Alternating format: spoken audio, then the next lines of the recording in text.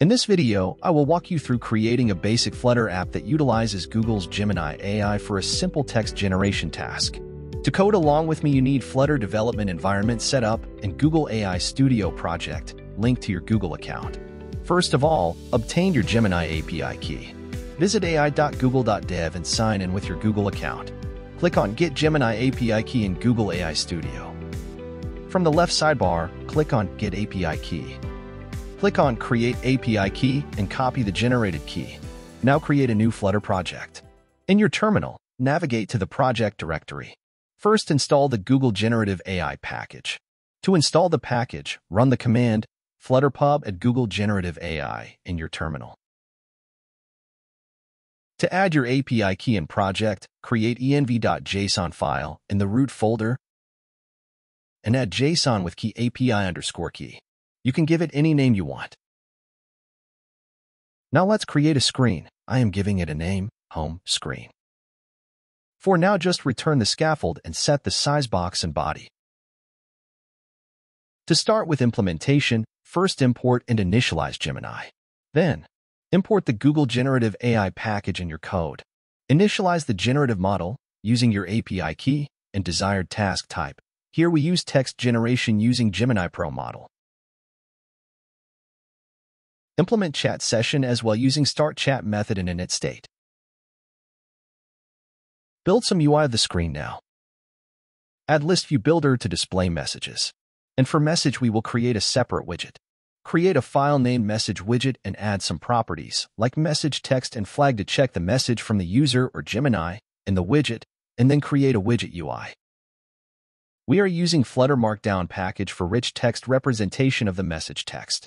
Also, set different color for user message box. Now add message widget in list view builder. Get a plain text representation of a content object from the chat history and then extract the text from it. And we can get role of the user from the content object. To create a nice UI, set the alignments of the column and add some padding to it. Now let's add the text field and send button at the end of the screen. We need text editing controller to get the user input. Add some decoration to the text field to make it prettier. Add method to send chat message on onSubmitted. Add loading variable to handle loading while waiting for the response, and disable the send button. In this method, we are sending a request to Gemini, using send message method, and handle the response. We will show an error if the response is null. Also, scroll the screen to the bottom after getting the response. For that, we need to add scroll controller in the list view. Let's run the app now and see, is it working as expected? Use this command to launch your app on a connected device or emulator. Oops, I forgot to add the item count in the list view builder. Now it looks fine. It is time to chat now. Let's write something. Oh, we have to update the message widget.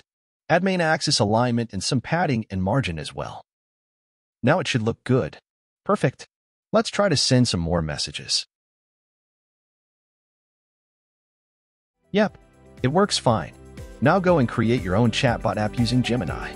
This is a basic example, and you can further customize it by adding features like multi-turn conversations, image-based generation, and error handling.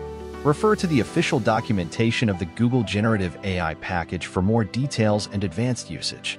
Thank you for watching, and don't forget to hit the like button and subscribe for more such content.